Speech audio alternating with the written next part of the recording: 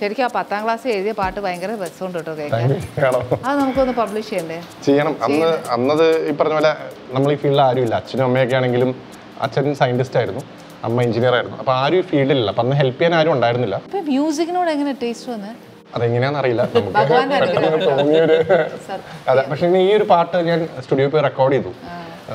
അന്നത് റെക്കോർഡ് ചെയ്തപ്പോൾ നമുക്കൊരു ഒരു സന്തോഷം കിട്ടുമല്ലോ. ഒരു പാട്ട് ഇങ്ങനെ ഫോമായി വരുന്നത് കാണുമ്പോൾ ഒരു ഭയങ്കര സന്തോഷം. ആ സന്തോഷത്തോടെ അന്ന് തീരുമാനിച്ചാണ് നമുക്ക് മ്യൂസിക് ഡയറക്ടർ ആവണം ഇപ്പോഴും ഞാൻ ഒരു ഒരുപാട് ട്രെയിൻഡായ ഒരു വെൽ ട്രെയിൻഡ് അല്ലെങ്കിൽ അത്രയും പഠിച്ചെത്തി മ്യൂസിക്കിലോട്ട് വന്ന ഫാമിലി പാരമ്പര്യം അങ്ങനെ ഒന്നുമില്ല നമ്മുടെ ഒരു പാഷന്റെ പുറത്ത് മാത്രം ഇറങ്ങി തിരിച്ചതാണ്. അതിന്റെതായ പോരായ്മകളൊക്കെ എനിക്ക് ഉണ്ടെന്ന് തന്നെയാണ് എന്റെ വിശ്വാസം. പോരായ്മകളോ?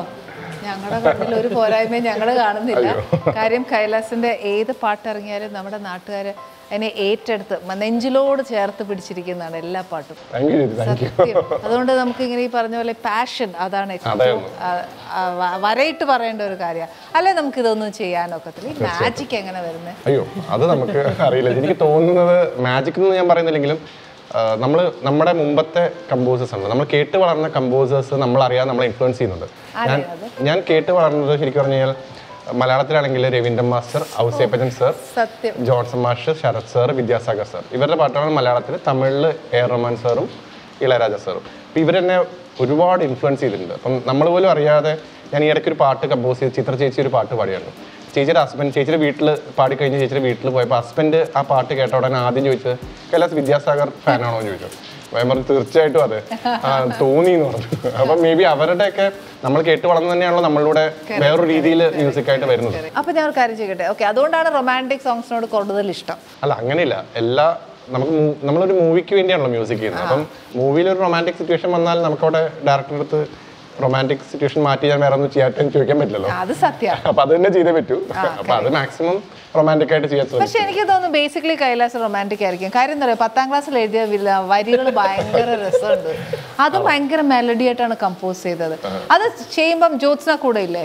ജോൾസിന് എന്റെ ക്ലാസ്മേറ്റ് ആയിരുന്നു ആ സമയത്ത്. അപ്പൊ ഇത് ചെയ്യുമ്പോൾ നിങ്ങൾ ഒരുമിച്ചാണോ ആ, ഞാൻ ഒറ്റയ്ക്കാണ് ചെയ്തത്. പക്ഷെ അന്ന് ആ ആൽബത്തിലെ മൂന്ന് പാട്ടുകൾ പാടിയത് ജോൾസിനായിരുന്നു ഓക്കെ. അപ്പൊ ഈ പാട്ട് എപ്പോഴാണ് റിലീസ് ചെയ്യുന്നത് അത് എനിക്ക് എന്താ കാര്യം എന്ന് വെച്ച് കഴിഞ്ഞാൽ നമ്മൾ അന്ന് ചെയ്ത കോമ്പസിഷനൊക്കെ ഇന്ന് കേൾക്കുമ്പോൾ നമുക്ക് അയ്യേ പോരാ. ഉം, ഒരുപാട് ഇനി ഇപ്പൊ ഇത് ഇറക്കി കഴിഞ്ഞാൽ ചീത്തപ്പേരാവും ഒരിക്കലും ഇതിപ്പോ ഫസ്റ്റ് കേട്ടപ്പോ തന്നെ എന്ത് രസാ.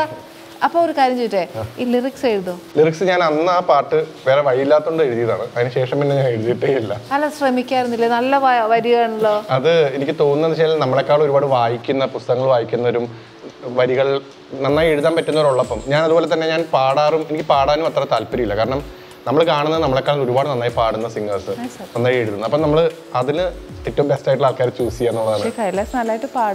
പക്ഷെ സ്റ്റിൽ നമുക്ക് തോന്നുമല്ലോ നമ്മൾ മ്യൂസിക് ഡയറക്ടർ എന്നുള്ളത് നോക്കുമ്പോൾ ഈ പാട്ട് ഇന്നയാൾ പാട്ടിൽ കുറച്ചുകൂടെ നന്നാവാൻ സാധ്യതയുണ്ടെന്ന് ഒരു തോന്നലുണ്ടാവുമല്ലോ അങ്ങനെ. സത്യം. ഓക്കെ ഇനി ഒരു കാര്യം ചെയ്യട്ടെ ഞാനിതൊരു ഇത് ടേസ്റ്റ് ചെയ്ത് നോക്കിക്കോട്ടെ. അയ്യോ എന്നോട് ചോദിച്ചോട്ടോ. ഞാൻ ഇതൊന്ന് ടേസ്റ്റ് ചെയ്ത് നോക്കട്ടെ. ഇനിയെങ്കിലും ഒന്നും മിണ്ടാതിരിക്കുമെന്ന് അടിപൊളി? നിങ്ങൾ സംസാരിച്ചോ. Okay